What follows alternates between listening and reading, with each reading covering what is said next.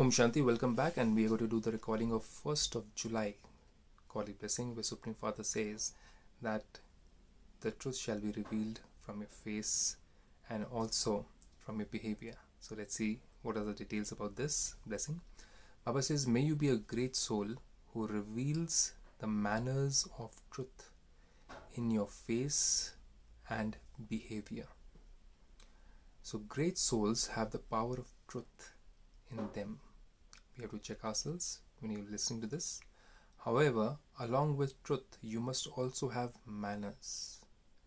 So, you can't be sharing truth or you cannot be proving truth with arrogance or with anger or by forcing something onto others. So, truth cannot be proved without manners. And that's what God says everything about great souls who have the manners of truth will automatically reveal their manners. Their speaking, their seeing, their moving, eating, and drinking and walking around. If manners are not there, there is no truth. So these are godly statements. That means truth should be revealed through all these things speaking, seeing the way they see or look at others, moving, eating, and drinking and walking around. If manners are not there, there is no truth.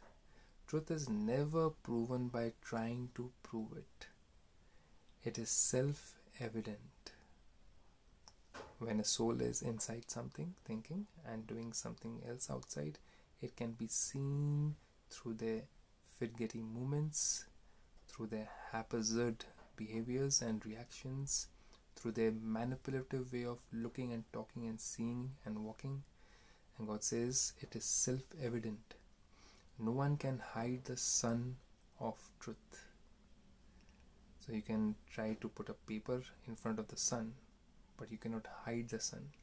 So if there's truth within you, you don't need to reveal it. It doesn't need to be spoken about. It doesn't need to be shown with your words. It is seen through all these things speaking, seeing, moving, eating, and drinking, walking around. When you don't have truth within you, God says, then you'll not see directly into the eyes of that person. You'll avoid seeing, looking into the eyes of the person. When you're not true to God, when you're not true to yourself, the truth will never stay with us. So we have to be first true to ourselves, true to Supreme Creator, and then we'll be able to face any situation, any person directly. Facing doesn't mean confronting them, facing doesn't mean replying back. Facing means that we'll have so much of clean and clear heart that we can, without having any kind of ill feelings, look at the other person, without having to prove anything or hide any weaknesses speak to the other person heart to heart soul to soul how do you do this? What is this method? And this method feels so lighter that we don't have to fake ourselves don't have to pretend to be somebody else don't have to put a charade of different behaviors in front of others so as to make sure that they don't see through us. And when we have that clean and clear mental behavior mental thinking through meditation which we learn in Brahma Kumaris the truth need not be revealed by speaking, by trying to prove it. You too can become like that, a great soul.